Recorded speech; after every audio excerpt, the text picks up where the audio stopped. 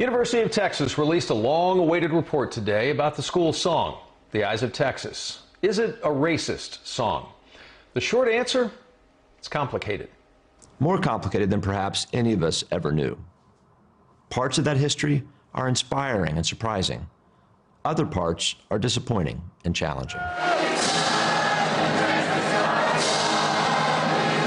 The controversy over the Eyes of Texas boiled over last year when some UT athletes participated in racial injustice protests and demanded the song be dropped.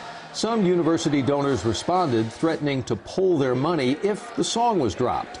So a school committee investigated the song's origins, the lyrics, the history, and found that the intent of the song was not overtly racist. But research did find that the song, created in 1903, was probably debuted in blackface.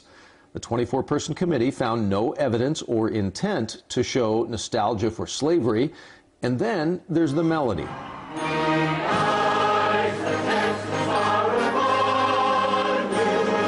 It's borrowed from the song I've Been Working on the Railroad, which has racist lyrics. It was likely used because it was an already well known and easy to sing song. UT did release pre recorded statements from the committee about what they found going through the months long process, separating fact from fiction and looking at history. A lot of it is myth making. A lot of it was uh, people taking pieces of information, even a pretty important source, T.U. Taylor's History of the University of Texas, that really don't stand up under scrutiny when you start looking at, well, how do we know?